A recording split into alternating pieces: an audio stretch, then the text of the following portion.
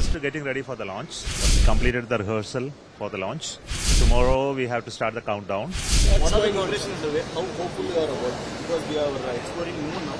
This going to explore the sun now. What are your expectations? So we are get, just getting ready for the launch. The rocket and satellite is ready. The, we completed the rehearsal for the launch.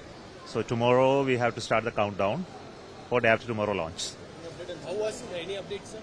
Uh, update is this is update. So after launch we'll see further.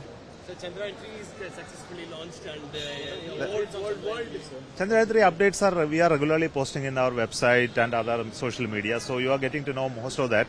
So there is nothing more I need to add now. Everything is working fine. So we are waiting for the day to end now until almost science uh, data is coming through very well. Everything is working very healthy. And we are hopeful that uh, uh, by the end of the 14 days, we, our mission will be successfully completed.